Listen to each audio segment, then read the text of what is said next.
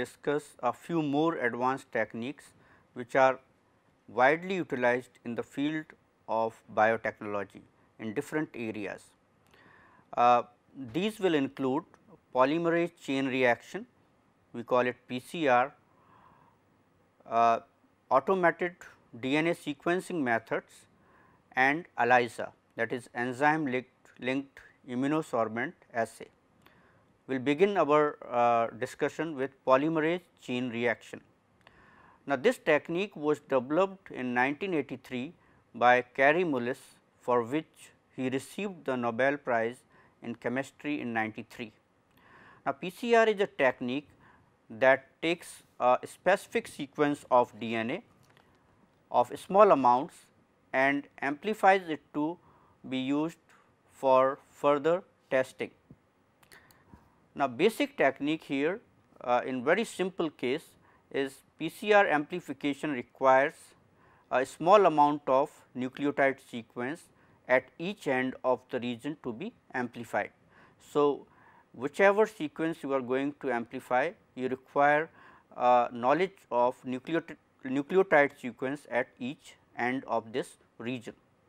Now, oligonucleotides complementary to that sequences are synthesized and it is typically uh, around 20 or so nucleotide long.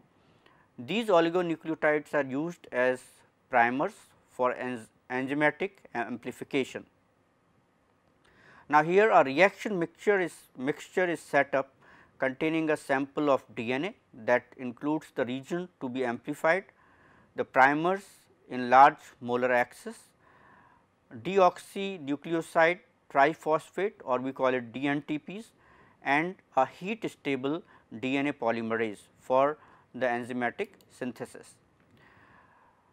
So, uh, the mixture is heated uh, to a temperature sufficient to melt or separate the strand of the sample DNA. Uh, remember that uh, uh, in uh, cells this function is performed by an enzyme that is helicase, but here outside the two DNA uh, strands needs to be separated and that is called uh, DNA mel melting at particular temperature they will separate from each other. Now, after they are separated they are cooled to a temperature which is low enough for the primers to anneal to the DNA that is at the two ends uh, where uh, in a particular region which needs to be amplified. Then the mix is incubated at a temperature sufficient for the polymerase to synthesize a complementary strand to each piece of sample DNA. Now, starting with the primers and using the DNTPs provided. So, the number of copies of the target region is doubled. After this round of DNA synthesis, the mixture is heated for strand separation again, cooled again for primer annealing and again incubated for another round of DNA synthesis and likewise uh, many cycles will be performed. So, each time the cycle is carried out there is a doubling of the number of copies of the target region between the primer annealing sites. After say 25 or 30 cycles there is theoretically amplification of over 10 raised power 9 fold uh, after 30 cycles. Now, applied even to a single DNA molecule of 1 kilobase pair that would generate 1 nanogram of DNA. So, it is about sufficient to see in a gel or for any other uh, application thereafter. So, in very simple terms this figure uh, explains the technique here uh, the simple technique. So, in starting what you have is you have a piece of DNA that is double stranded DNA and there are primers DNTPs and polymerase which are mixed with in a tube. Now, the first step is the DNA melting or denaturation step. So, the two DNA strands are separated here. Once they are separated then temperature is lowered to say around 60 degree Celsius. Now, this temperature will depend upon the melting temperature of the primers. so, the primer will anneal at this temperature which is little lower than the melting temperature of primer and they will anneal at the right complementary place. So, DNA synthesis then temperature again heated to 72 degree Celsius and the DNA synthesis takes place. Now, at 72 degree around DNA polymerase will synthesize the complementary strands. Then again the cycle will be repeated many times and many double stranded DNA amplified fragments will be obtained. Through these three steps the DNA amplification or polymerase chain reaction will take place. All right. So, let us little bit get into details of the PCR technique. When amplifying a small segment of a large double stranded DNA template, the desired fragments first appear in the third cycle of PCR as we have seen in the figure. The amplified products then accumulate exponentially as described in this equation where you can see uh, NF equals N 0 1 plus y raised to power n where NF is the copy number of the amplified sequence after n cycles of amplification and N 0 is the initial copy number of the target sequence in the DNA template. Y is the efficiency of the amplification per cycle.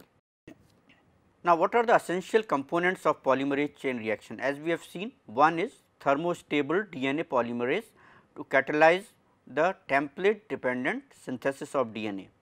Then a pair of synthetic oligonucleotides that is primers uh, then careful design of primers is required to obtain the desired products in high yield and to suppress amplification of unwanted sequences and to facilitate subsequent manipulation of the amplified product.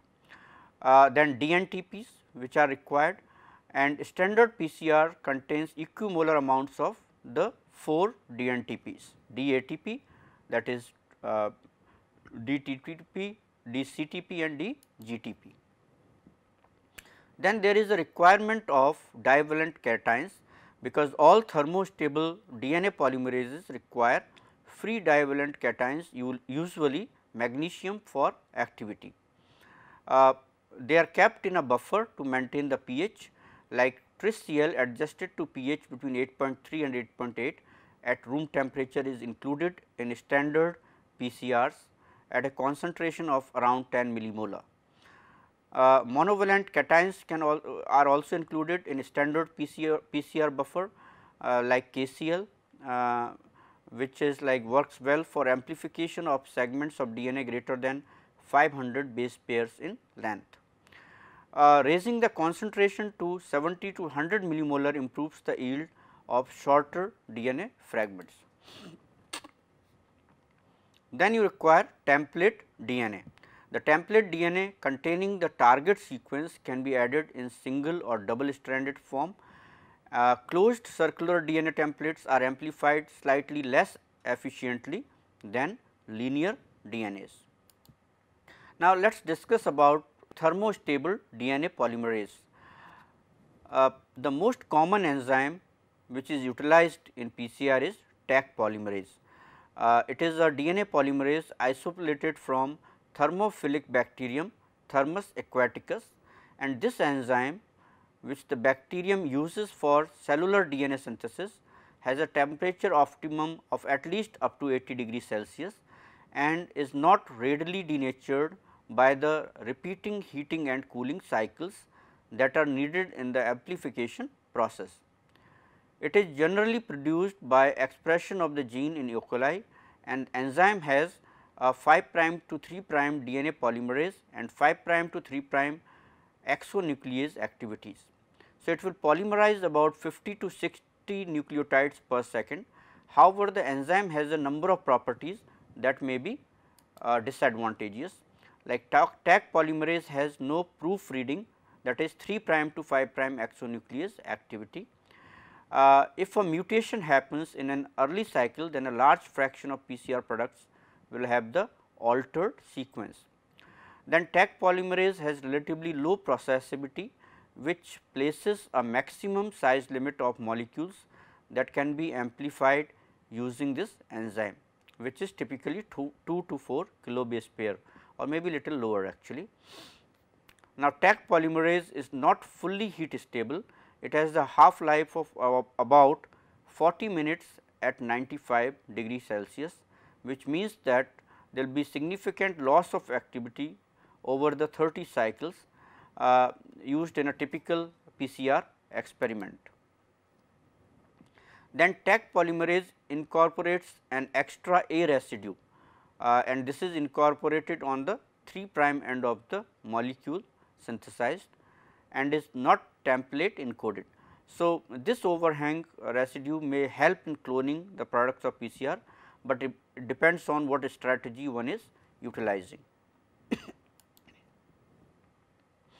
now, apart from uh, Taq polymerase, there are a number of other polymerases which are available from other thermus species like TF1 and TTH enzymes from Thermus flavus and Thermus uh, thermophilus uh, respectively are available which have 3 prime to 5 prime proofreading activity also. Uh, polymerases are also available from other uh, bacteriums like Archaebacterium also and many of these enzymes have proofreading activity. Uh, these include like TLI from Thermococcus litoralis, PFU from Pyrococcus uh, furiosus and deep vent from Pyrococcus species. These are enzymes which are available and these are uh, sometimes more stable than the Taq enzyme. So, when uh, you are performing one is performing poly uh, polymerase chain reaction it is performed on a thermocycler and programming can be done uh, like PCR it is a iterative process which involves uh, 3 steps and these 3 steps can be programmed so that machine can run uh, for particular number of cycles. Now, these 3 steps one like we have discussed first is denaturation where double stranded DNA template denatures at temperatures of around 95 degree Celsius, uh, which is the highest temperature that Taq polymerase can really endure uh, for around 30 or odd cycles. So, in the first cycle of PCR, denaturation is carried out for 5 minutes to increase the probability that long molecules of template DNA are fully denatured. The second step is annealing of primers. So, what is done for annealing of temp, uh, primers temperature is brought down uh, and this is a very critical step uh, like uh, if the annealing temperature is too high then oligonucleotide primer anneal poorly uh, and yield uh, of ampli amplified DNA is low if the annealing temperature is too low, non-specific uh, annealing of primers may occur resulting in the amplification of unwanted segment of DNA. So, annealing is usually carried out at 3 to 5 degree Celsius below the calculated melting temperature uh, of the uh, oligonucleotides that is primers. So, uh, uh after annealing that is when primers are annealed at a particular specific sites. Third step is extension uh, that is extension of oligonucleotide primers. Now, this is carried out at the optimal temperature for DNA synthesis catalyzed by the particular thermostable polymerase. Like in case of Taq polymerase it is around 72 degree Celsius. Now, in the first two cycles extension from one primer proceeds beyond the sequence complementary to the binding site of other primer. Then in the next cycle the first molecule are produced whose length is equal to the segment of DNA uh, delimited by the binding sites of the primer. So, from third cycle onwards the particular segment of DNA amplifies geometrically whereas longer amplification uh, products accumulate arithmetically. So, extension is carried out for 1 minute for every 1000 base pair of product. Uh, that is a kind of uh, particular efficiency. Uh, for the last cycle of PCR, extension is carried out 3 times longer than the previous cycles to allow completion of all amplified products. So, so the last extension step is little longer.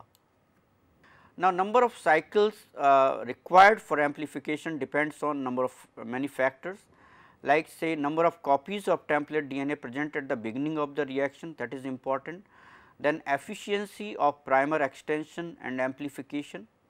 So, once established in the uh, geometric phase the reaction proceeds until one of the components becomes limiting. So, at this point the yield of specific amplification product should be maximal whereas non-specific amplification product should be barely detectable. Now, this is the case after 30 cycles of PCR containing almost like 10 raised to power 5 copies of target DNA. At least 25 cycles are required to achieve acceptable levels of amplification of single copy target sequences in mammalian DNA templates. A typical set of reactions might have like in initial melting carrying carried out for 5 minutes at say 94 degrees Celsius, then 30 cycles each comprising like uh, it is a repetitive like melting for 1 minute at 94 degrees Celsius, renaturation for one, 1 minute at 60 degrees Celsius and then DNA synthesis for say one and half minute at 72 degrees Celsius and finally, final extended round of DNA synthesis for 5 to 10 minutes. The primer design is an important part of PCR experiment and there are several computer programs available now to suggest suitable primers. Uh, and general guidelines is one length, a short primer may offer sufficient specificity uh, while amplifying using a simple template such as a small plasmid. A long primer may be required when using say eukaryotic genomic DNA as template. So, in practice like we said around 20 to 30 uh, nucleotides are satisfactory. Now, members of a prim primer uh, pair uh, should not differ in length uh, too much like greater than 3 base pairs bases and uh, base composition also has to be looked in like if you have higher G plus C content that will be a problem. So, it should be around 40 to 60 percent with an even distribution of all 4 bases along the length of the primer. If there is very low GC content then also there is a problem uh, because uh, the melting temperatures will be lower actually. Then mismatches uh, where primers do not need to match the template completely uh, although the 3 prime end of the primer should be correctly base paired to the template uh, rather than 5 prime, it is often beneficial to have C or G as the 3 prime terminal nucleotide. This makes the binding of the 3 prime end of the primer to the template more effective. Some mismatches in the body of the primer sequences may be allowed uh, particularly during mutation uh, like uh, uh when uh, somebody is trying to mutate a single base or uh, try to introduce say uh, restriction sites. So, that way sequences can be incorporated at these ends that contain restriction endonuclease recognition sites uh, to facilitate subsequent cloning and manipulation of the PCR product. Uh, melting temperature uh, is the temperature at which the two primers can associate with the template and should be relatively similar, so that they uh, both can bind at the same time as temperatures are being lower during annealing. Uh, if the temperatures of both primers are not uh, same, then they will not bind at the same time and there will be problem in extension of both the strands. Now, internal secondary structure formation uh, should be avoided. Uh, primer sometimes may fold back on itself and uh, not be available to bind to the template and then proper, proper precautions or um, has to be taken uh, to avoid this. Uh, there could be cases where primer primer annealing could take place uh, and to avoid the primers being able to anneal to each other uh, extension by DNA polymerase of two self annealed primer leads to the formation of a primer dimer and this will be very uh, this will very efficient templates for amplification in subsequent rounds of PCR as they are uh, like small actually. So, primer primer annealing has to be avoided. Now, this was the basic technique of PCR polymerase chain reaction uh, with three main steps here and uh, many like enzymes particularly it started with Taq polymerase, but other enzymes could be also utilized. And PCR has a number of applications uh, in various areas of biotechnology and other areas as well. Uh, now, why it has so many applications? One is it is a very convenient technique. Uh, amplifying a DNA segment was uh, very difficult before uh, this thermocycler technique came in or PCR technique came in. So, PCR is automated. Uh, a typical set of cycles can be carried out on many separate samples simultaneously in a few hours and starting amounts of DNA can be very very small like uh, in forensic science it uh, is like when you get a blood sample or uh, hair sample from that also amplification can occur. So, there are so many applications of uh, PCR uh, technique or this particular method and uh, we are listing we are just discussing some of them here. One is DNA sequencing.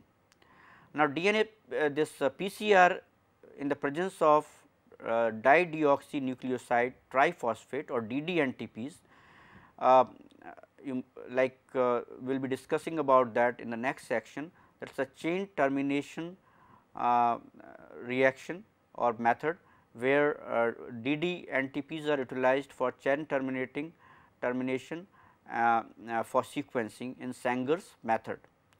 So, this allows DNA sequencing reactions to run successfully with very small amounts of template. Uh, this is also this is known as cycle sequencing. It requires a specially developed enzyme that combines the properties needed for sequencing with thermostability. So, uh, one uh, application uh, is DNA sequencing and this could be done by done like by different methods including the Sanger's method.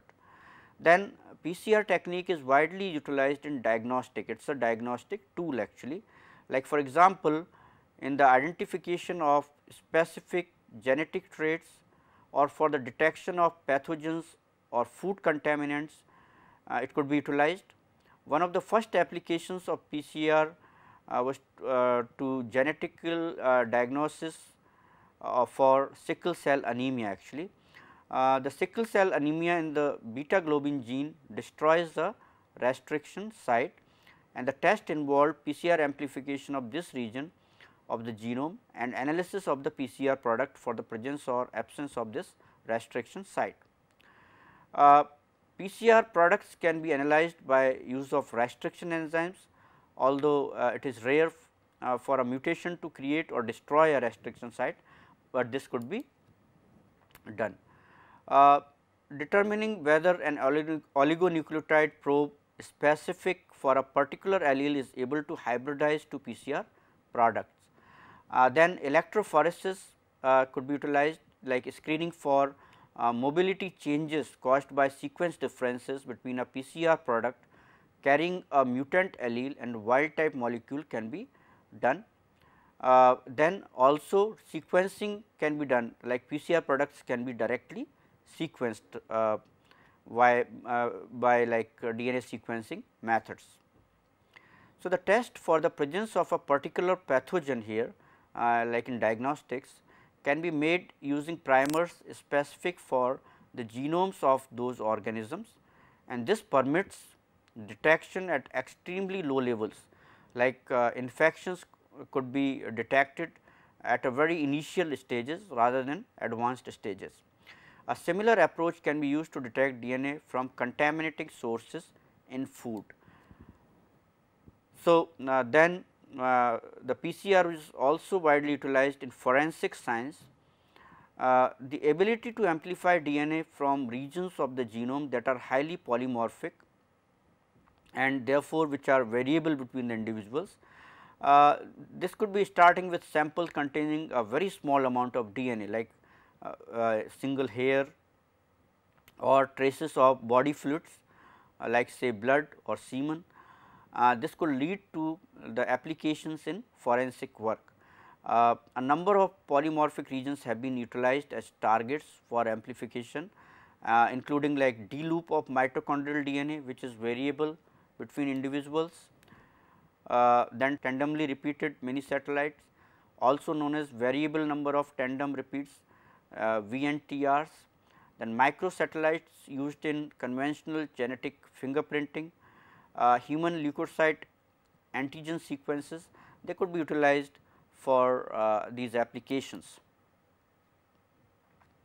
Now, PCR can also be utilized in present day population genetics. Uh, the ability to amplify material rapidly from a large number of DNA preparations leads to the application in population genetics, allowing for example, the determining of frequencies of a particular allele in a large collection of individuals. There are a number of PCR techniques that will provide information from many parts of the genome simultaneously. Now, one such is random amplification of polymorphic DNA or we call it RAPD.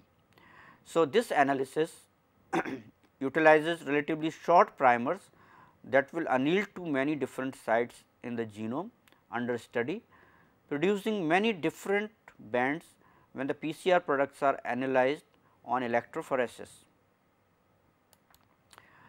Now, the similarities and differences between the band patterns generated from genomic DNA of different organisms provide information on their genetic relatedness. Another technique is there which involves amplification of large set of restriction fragments of genomic DNA, whose sizes can be compared on electrophoresis and this is termed as amplified fragment length polymorphism or AFLP.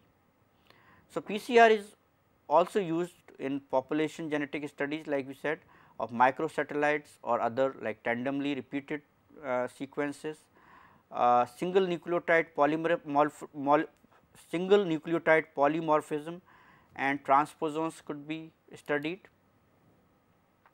A particular advantage of using PCR in population genetic studies that with appropriately designed specific primers it may be possible to amplify DNA from one organism that cannot be separated from others. So, such as particular bacterial strain in a mixed population that is very difficult to separate, but through PCR it could be done. Uh, so, this approach therefore can be used to study uh, genetics of bacteria or other, other organisms that cannot be cultured axenically. Now, another application of PCR is in archaeology and evolution. PCR can be used with old material as well as more recent samples and it is often possible to amplify ancient DNA from museum specimens and archaeological remains. Multiple copy sequences such as mitochondrial DNA or chloroplast DNA uh, are a particularly useful target uh, and nuclear DNA could also be retrievable in certain cases. So, comparison of polymorphic sequences from the ancient DNA, ancient DNA with the sequences observed uh, today allows inferences to be made about the origins of a particular population of species. So, these were some of the applications which uh, makes PCR a widely used technique. Now, there are certain modifications in the technique for improving specificity. One of the most frequently encountered problem is the annealing of the primers at the wrong location or to generate the wrong and this will generate wrong PCR product. So, it may be possible to reduce this problem by raising the annealing temperature in the cycle conditions or altering the ionic concentration in the reaction mixture. But there are a number of other approaches also which we are going to discuss. Uh, one approach could be which is called hot start PCR. So, as soon as the PCR reagents have all been mixed up together, it is possible for the DNA polymerase to start synthesis, although uh, the optimum temperature is very high and this may happen while the reaction mixture is being heated for the first time and is at a temperature which is low enough to allow non-specific annealing of primer to template generating a range of non-specific products. So, this problem would be uh, could be prevented if DNA synthesis could uh, is takes place uh, or does not take place until the first cycle had reached its maximum temperature. So, this is the basis of hot start PCR that the to prevent uh, the DNA synthesis to occur until it reaches the highest or maximum temperature. So, in the simplest form the DNA polymerase is not added to the reaction tubes until they have reached the DNA melting temperature of the first, first cycle. But this is like uh, uh, not possible uh, though you can do it, but uh, uh, it is like then you have to mix again and again. A more convenient approach would be to have one of the reaction components in a form that is unavailable and until that particular appropriate temperature has been reached actually. And this can be achieved by incorporating the polymerase or say the magnesium salt in wax or some capsule like structure and which uh, these beads or uh, this particular material melts at the appropriate temperature allowing the, allowing the reaction to start. A different approach uh, could be to have the polymerase inactivated at the, at the start by complex, complexing it with an antibody and then antibody denatures at high temperature, uh, so that polymerase could be functional. Another approach could be touchdown PCR. Now, touchdown PCR here the annealing temperatures used in conventional PCR is usually several degrees below the maximum at which primers can remain bound to template to ensure stable binding. However, this use of lower temperature permits a small amount of mismatching between primers and template, which may allow primers to bind to incorrect sites and generate the non-specific or spurious products. Now, the effects of this can be reduced with touchdown PCR. What is done here? In this a high annealing temperature is used initially at which even correct binding may not be possible.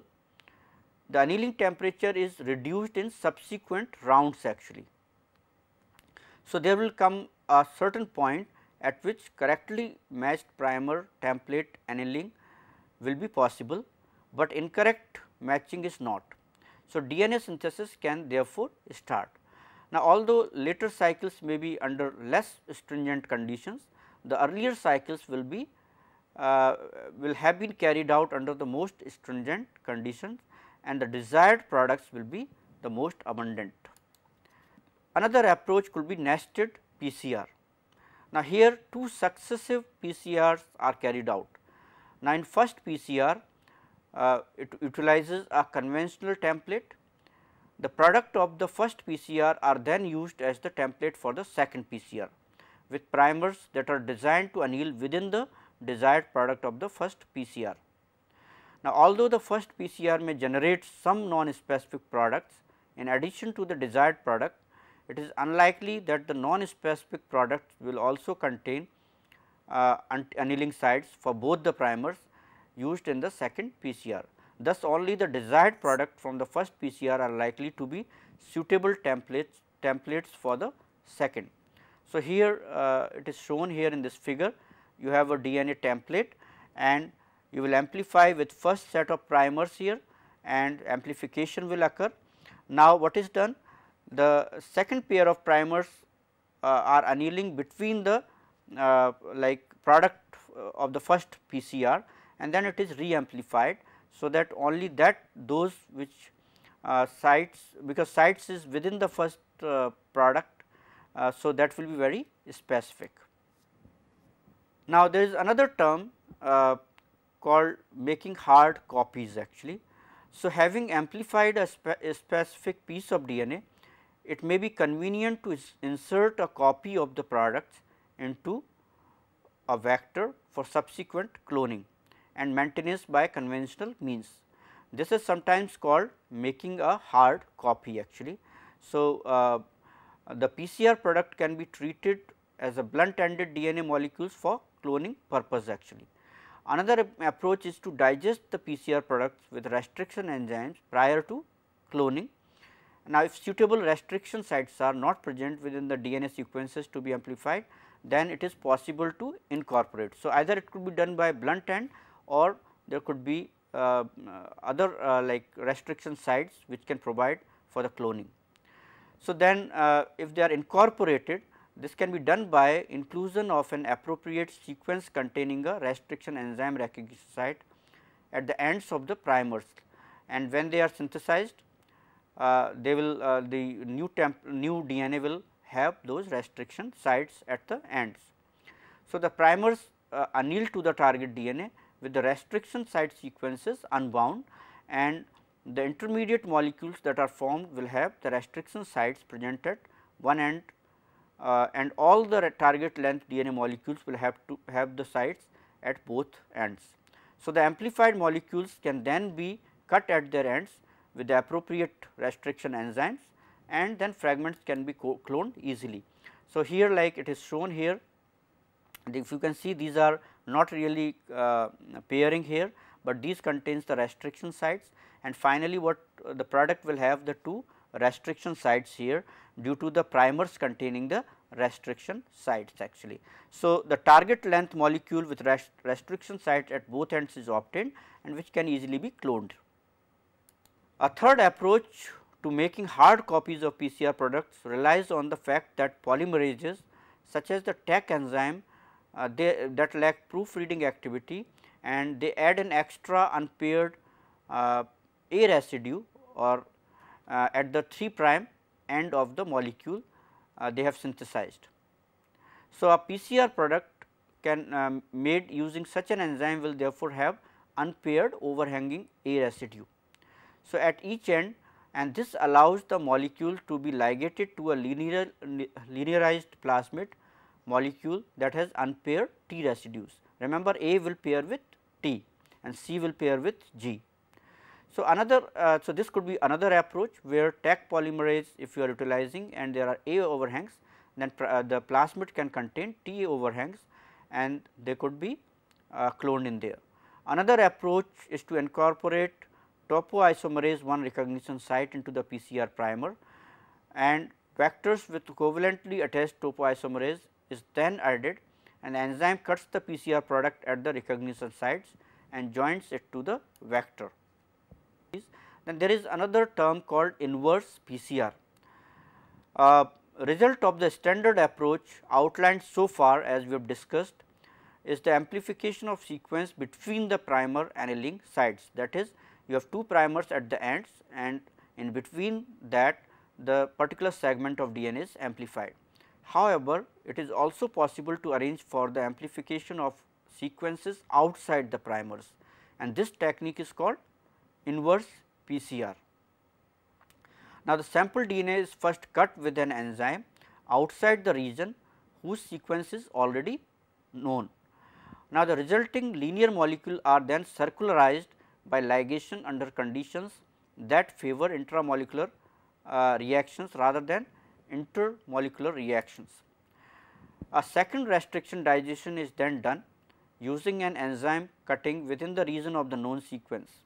The result is now that the first fragment containing this sequence has been turned actually inside out leaving known sequence on the outside and the material that had previously been flanking it within. So, primers complementary to the known sequences on the outside of the molecule now be used to amplify the region of interest between them. This technique is especially powerful when combined with transposon tagging actually. If a previously characterized transposon has inserted into a gene of interest, the gene can be amplified using the inverse PCR and primers from transposon sequences could be utilized. Now, if you see here this uh, uh, this figure on your screen explains this. So, there is a region of known sequence here in the middle and uh, when you cut the DNA this uh, region is in here and this is ligated self ligated and what you get is that known region is in here. Now, what is done is it is digested with enzyme which is cutting within the known sequence. So, what you have done is first you have circularized it and then there is a known region is in this particular place which was at the center earlier and it is being cut within the known sequence. When you cut it the within the known sequence and linear, linearizes it, this known sequence which was at the center is now at the ends and then primers against this could be utilized. Uh, now, uh, since you have known DNA ends and this could be utilized for PCR amplification. This was about inverse PCR.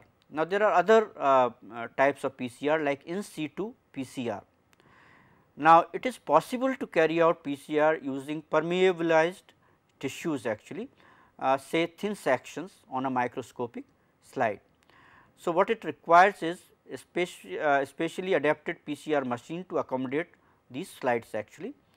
Uh, if the PCR product can be detected then this allows one to identify where in the tissue the target nucleic, nucleic acid is located. Although this can be used to identify the location of particular DNA species in tissues, it is uh, very often combined with reverse transcriptase to identify the location of particular transcript actually. Uh, quantitative PCR could also be done and it is possible to use PCR to estimate the abundance of a particular nucleic acid molecule in a sample. Say if we are interested in an RNA molecule, it will be necessary to start with the reverse transcriptase PCR or uh, RT-PCR to make a cDNA copy. Now, there are two main approaches here uh, for estimating the abundance of a molecule. One is to use the standard PCR and visualize the amount of the product of interest by electrophoresis technique like comparing it with suitable controls or standards. So, this is like in uh, at the end of the experiment you are measuring the amount of target sequence. Now, second approach could be to quantify the reaction in real time that is while the PCR is progress. So, the real time PCR is a very very important uh, technique in terms of uh, giving an information about uh, like in, in terms of quantitative PCR and this can be done in two ways. One is a fluorescent double stranded DNA uh, binding dye like say SYBR Green uh, is present in the PCR and as the double stranded DNA product accumulates the amount of fluorescence from the dye increases and this can be detected. Now, the experiment requires a PCR machine that is also equipped with a fluorescence measurement facility. So, this approach is adequate if the PCR uh, uh, generates the products of interest very specifically.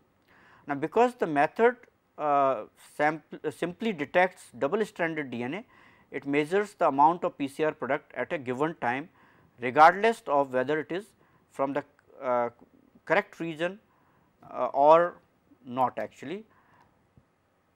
So, here uh, uh, like through fluorescent probes like double stranded DNA binding dye could be utilized as one approach. In the second approach uh, to real time PCR, it allows detection of a specific product rather than double stranded DNA in general here. And what it does is it utilizes a specially synthesized probe uh, oligonucleotide and this probe is designed to anneal within the region to be amplified and carries a fluorescent reporter dye at one end and a quencher at the other end of the molecule. So, what happens is if the quencher and the reporter are in close, close proximity that is attached to the same oligonucleotide, then the quencher stops the reporter from fluorescing. Now, during PCR the probe will anneal to single stranded DNA within the target region and when the polymerase meets the annealed probe, uh, the 5 prime to 3 prime exonuclease activity of the enzyme degrades the probe, liberating the reporter from the quencher and thus the fluorescent reporter accumulates during the course of PCR. So, this could be then detected. So, here is uh, a very simple depiction of that. What you have is uh, if you can see on your screen, uh, there is a reporter uh, adjacent to uh, uh, quencher. So, when this reporter this quencher is there the no fluorescent fluorescence will be obtained or seen but as soon as DNA polymerase comes and it kind of uh, removes this, then this is freed here uh, and uh, polymerase will separate the reporter from quencher and the fluorescence could be detected actually. So, this is the approach here um, for real time PCR. Now, an alternative method for specific products uh, uh, detection in real time PCR uses two, two oligonucleotide probes that anneal to adjacent sites in the target DNA. One oligonucleotide is tagged with a molecule that absorbs light and the second with a molecule that is able to accept energy from the first and re-emit energy at a different wavelength. Now, if the two oligonucleotides can both anneal to the target DNA, then the energy absorbing and energy emitting molecules are brought into close proximity and energy transfer is possible. Now, if the oligonucleotides are not brought together in this way, then the little energy transfer can take place. Thus, measurement of the amount of fluorescence from the second tag provides a measure of the amount of the target DNA. So, here it is like uh, as you see these two targets uh, when they come together that is they are brought into the proximity then only the uh, particular uh, like uh, fluorescence measurement of the amount of fluorescence uh, is provided actually. Mutagenesis could also be like in PCR reactions mutagenesis can also be performed uh, like because perfect matching between the primer and the target DNA is not necessary. So, uh, uh, this could also be one of the uh, uh, methods to make uh, like sequences with certain mutations. now, provided that this allowance is made for this in determining the condition for primer annealing. So, primer annealing should not be affected if you are putting in a primer with mismatches. PCR can therefore be used to engineer specific mutations in the amplified sequences by constructing a primer that corresponds to the mutated sequences rather than the original. There are other forms of PCR like asymmetric PCR. By reducing the amount of one of the two primers, it is possible to arrange for preferential application of the one of the two strands resulting in a preparation of single stranded DNA which has a number of uses in molecular biology. So, uh, asymmetric PCR can be another uh, form where single stranded DNA could be uh, there. Then anchored PCR, uh, anchored PCR is applied when only one piece of sequence for the region of interest is known. Uh, the aim is to attach the region to be amplified to a piece of known sequence and then to use this that as the second priming site. And there are two types, uh, two ways in which this can be most easily done. Uh, one is to fragment the sample DNA and ligate it to molecules of the known sequences such as vector and this known sequence is used as the basis for designing one of the two main PCRs. And second could be to add tails enzymatically to the sample DNA or the molecules uh, produced after the first round of synthesis. For example, a run of say G residues can be added by treatment with uh, terminal deoxynucleotidyl transferases or some other can be used and this could be uh, uh, combined with RT-PCR this forms the basis of rapid amplification of cDNA ends. So, what, what is done is uh, say through an enzyme you have put in G uh, and uh, 2 prime deoxyguanosine 5 prime triphosphate or oligo DC can then be used as a primer because it will anneal to the oligo DC combined with uh, RT-PCR this forms basis of rapid amplification of cDNA ends or it is called RACE. So, this uh, picture kind of uh, uh, explains that this there is a single sample DNA cut and ligated to anchor and then PCR with primers for sample DNA and ligated anchor is performed and this way you can get the full sequences actually. Uh, so, this is called anchored PCR. There are other forms like emulsion PCR can be another form. In this technique uh, all the reagents are incorporated inside the lipid droplets and PCR is carried out on a much smaller scale. Uh, advantages could be to uh, it is possible to increase and decrease the temperature of small droplets very quickly. If each droplet contains a single template molecule at the start, then all the products in an individual droplet results from the amplification of single template molecule. Uh, this is also called droplet PCR then there could be another form could be isothermal amplification. uh, the repeated heating and cooling required by PCR limits how quickly the process can be carried out. Uh, in addition to this the cost of PCR machine is not uh, uh, low. So, loop mediated isothermal amplification has been developed which allows templates to be assembled amplified uh, templates to be amplified at a constant temperature uh, say around 65 degree Celsius. It uses a DNA polymerase with strand displacing activity and allows the and avoids the need for uh, heating to high temperature. There is a, a, particular interest in the use of this method for the detection of pathogens outside of specialist uh, laboratories uh, as it is a rapid and avoids the need for uh, expensive PCR machines. So, these were uh, some of the different modified techniques and different approaches which have been developed from the simple basic techniques of PCR. So, in this lecture we have discussed about uh, polymerase chain reaction, basic technique and modified versions of this technique. Also we have discussed about the applications of uh, various applications of PCR technique. In the next lecture we are going to discuss about uh, two more techniques here that is automated DNA sequencing methods and ELISA. Thank you.